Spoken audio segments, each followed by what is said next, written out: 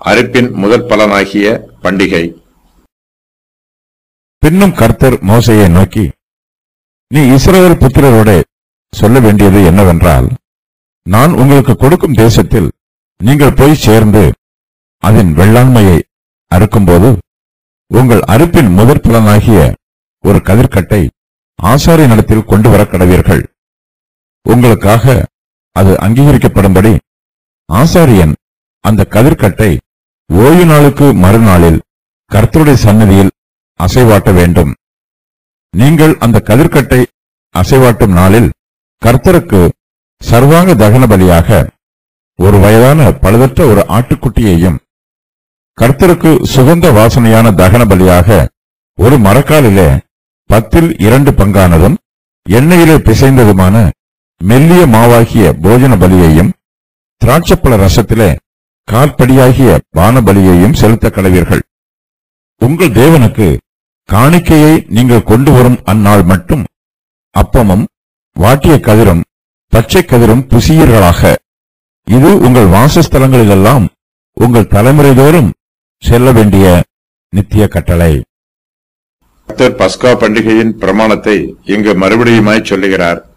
முதலாம் மாதம் பதினாலாம் தேதி அந்தி நேரமாகிற வேளையிலே கர்த்தரின் பஸ்கா பண்டிகை பரிசுத்தமாய் ஆசரிக்கப்படுகிறது. இஸ்ரவேல் புத்திரர் எகிப்து தேசத்தில் இருந்து விடுவிக்கப்பட்ட நாளை நினைவு கூறும் வண்ணமாக பஸ்கா ஆசரிக்கப்படுகிறது. கர்த்தர் இஸ்ரவேல் புத்திரரின் தலைச்சன் பிள்ளைகளுக்கும் எகிப்தியரின் தலைச்சன் பிள்ளைகளுக்கும் வித்தியாசம் காண்பித்து தம்முடைய கிருபையினால் இஸ்ரவேல் புத்திரருடைய தலைச்சன் பிள்ளைகளை பாதுகாத்தார். கர்த்தர் இஸ்ரவேல் புத்திரரை மறக்கவில்லை. கர்த்தர் தம்முடைய கிருபையையும் இரக்கத்தையும் அவர்களுக்கு காண்பித்தார் என்பதற்கு அடையாளமாக பஸ்கா பண்டிகை ஆசரிக்கப்படுகிறது. கர்த்தர் மோசையை நோக்கி நீ இஸ்ரவேல் புத்திரரோட சொல்ல வேண்டியது என்னவென்றால் நான் உங்களுக்கு கொடுக்கும் தேசத்தில் நீங்கள் போய் சேர்ந்து அதன் வெள்ளாண்மையை அறுக்கும்போது உங்கள் அறுப்பின் முதற் பலனாகிய ஒரு கதிர்கட்டை ஆசாரிய நடத்தில் கொண்டு வர கடவீர்கள் என்று சொல்லுகிறார். இஸ்ரவேல் புத்திரர் ஆசாரியனிடத்தில் கொண்டு வருகிற கதிர்கட்டை கர்த்தர் அங்கீகரிக்க வேண்டும். உங்களுக்காக அது அங்கீகரிக்கப்படும்படி ஆசாரியன் அந்த கதிர்க்கட்டை ஓய்வு நாளுக்கு மறுநாளில் கர்த்தருடைய சந்நிதியில் அசைவாட்ட வேண்டும் என்று கர்த்தர் சொல்லுகிறார். ஆசாரியன் அறுப்பின் முதற் பலனாகிய கதிர்கட்டை கர்த்தருடைய சந்நிதியில் அசைவாட்டுகிறான். பரலோகத்தில் உள்ள தேவனுக்கு இந்த கதிர்க்கட்டு காணிக்கையாக சமர்ப்பிக்கப்படுகிறது என்பதற்கு அடையாளமாக ஆசாரியன் இந்த கதிர்கட்டை அசைவாட்டுகிறான். கர்த்தரே விளைச்சலை கொடுக்கிறவர் கர்த்தர் இஸ்ரேல் தேசத்திலே முன் மாறியையும் பின் மாறியையும் கொடுத்து தானியங்களை வளரச் செய்திருக்கிறார். தங்களுடைய எல்லா ஆசீர்வாதங்களுக்கும் இஸ்ரவேல் புத்திரர் கர்த்தரையே சார்ந்திருக்கிறார்கள். இதற்கு அடையாளமாக ஆசாரியன் கதிர்கட்டை கர்த்தருடைய சந்நிதியில் அசைவாட்டுகிறான். நிலத்திலே தானியம் வளரும்போது சத்துருக்கள் அதை திருடிச் செல்லவில்லை. வெட்டுக்கிளிகள் அதை தின்று போடவில்லை. கர்த்தர் நிலத்தின் தானியங்களை இஸ்ரவேல் ஜனத்திற்காக பாதுகாத்து பராமரித்து கொடுத்திருக்கிறார். கர்த்தர் தங்களுக்கு காண்பித்த சகல நன்மைகளுக்காகவும் இஸ்ரவேல் ஜனத்தார் அவருக்கு நன்றி சொல்லுகிறார்கள். அவர்கள் கானான் தேசத்தில் போய் சேர்ந்த பின்பு அந்த தேசத்தில் வெள்ளாண்மையை அறுக்கும்போது தங்கள் அறுப்பின் முதற் பலனாகிய ஒரு கதிர்கட்டை ஆசாரியனிடத்தில் கொண்டு வந்து கொடுக்கிறார்கள். ஆசாரியன் அந்த கதிர்க்கட்டை ஓய்வு நாளுக்கு மறுநாளில் கர்த்தருடைய சந்நிதியில் அசைவாட்டுகிறான். அறுப்பின் முதற் பலனாகிய ஒரு கதிர்கட்டு கர்த்தருடைய சந்நிதியில் அசைவாட்டப்படும் போது இஸ்ரவேல் புத்திரருடைய மொத்த கதிர்க்கட்டுகளையும் கர்த்தர் பரிசுத்தம் பண்ணுகிறார்.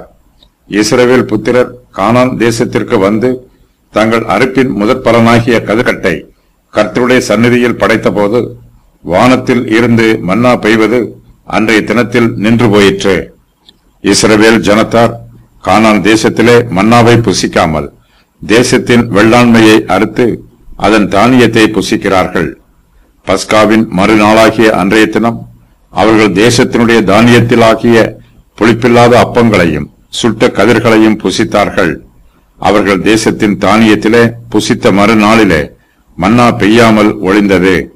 அது முதல் இஸ்ரவேல் புத்திரருக்கு மன்னா இல்லாமற் போய் அவர்கள் கானான் தேசத்து பலனை அந்த வருஷத்தில் தானே புசித்தார்கள் யோசுவா ஐந்து பதினொன்று பன்னிரண்டு. கானான் தேசத்திலே இஸ்ரவேல் புத்திரர் தங்கள் வெள்ளாண்மையை அறிக்கிறார்கள். கர்த்தர் அந்த அறுவடையை அங்கீகரிக்க வேண்டும். அவர் வெள்ளாண்மையை ஆசீர்வதிக்க வேண்டும்.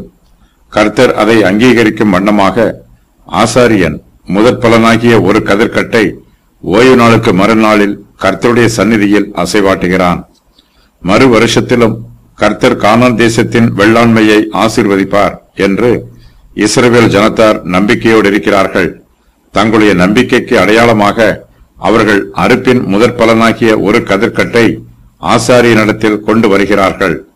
தங்களுக்கு இனிமேல் வானத்தில் இருந்து மன்னா பெய்ய வேண்டியதில்லை என்றும் கானான் தேசத்தின் வெள்ளாண்மையே தங்களுடைய போஜனத்திற்கு போதுமானது என்றும் இஸ்ரவேல் ஜனத்தார் நம்புகிறார்கள்.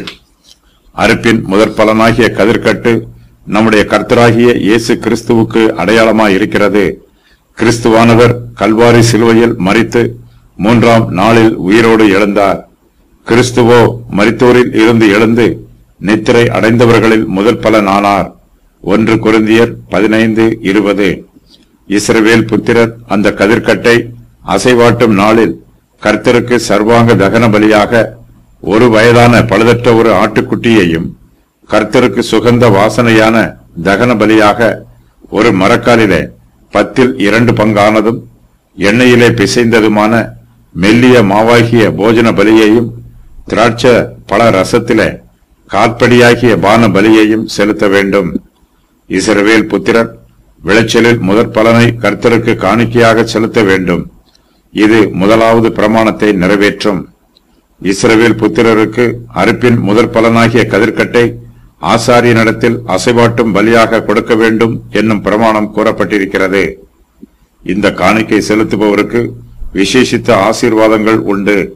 முதற் கனிகளை காணிக்கையாக செலுத்துவது கிறிஸ்துவின் உயிர்த்தெழுதலுக்கு அடையாளம். நாம் ஒவ்வொரு காரியத்தை செய்யும் போதும் அந்த காரியத்தை தேவனோடு செய்ய ஆரம்பிக்க வேண்டும். நாம் ஒவ்வொரு நாளிலும் நம்முடைய வேலைகளை செய்ய ஆரம்பிக்கும் முன்பாக கர்த்தரிடத்தில் ஜெபம் பண்ண வேண்டும். நம்முடைய ஜீவியத்தை கர்த்தரோடு ஆரம்பம் பண்ண வேண்டும். நாம் ஒவ்வொரு முறை போஜனம் பண்ணும் போதும் கர்த்தருக்கு ஸ்தோத்திரம் பண்ணி புசிக்க வேண்டும். முதலாவதாக நாம் தேவனுடைய ராஜ்யத்தையும் அவருடைய நீதியையும் தேட வேண்டும். உங்கள் தேவனுக்கு காணிக்கையை நீங்கள் கொண்டு வரும் அந்நாள் மட்டும் அப்பமும் வாட்டிய கதிரும் பச்சை கதிரும் புசியீர்களாக. இது உங்கள் வாசஸ்தலங்களில் எல்லாம் உங்கள் தலைமுறை தோறும் சொல்ல வேண்டிய நித்திய கட்டளை என்று கர்த்தர் சொல்லுகிறார். முதற்பலன்களின் பண்டிகை பற்றிய பிரமாணத்தின் விவரம் வருமாறு. வெள்ளாண்மையை அறுக்கும்போது உங்கள் அறுப்பின் முதற் பலனாகிய ஒரு கதிர்கட்டை ஆசாரியனிடத்தில் கொண்டு வர வேண்டும். உங்களுக்காக அறுப்பின் முதற் பலன் அங்கீகரிக்கப்படும்படி அதை கர்த்தருடைய சந்நிதியில் அசைவாட்ட வேண்டும். ஆசாரியன் அந்த கதிர்க்கட்டை ஓய்வு நாளுக்கு மறுநாளில் அசைவாட்ட வேண்டும்.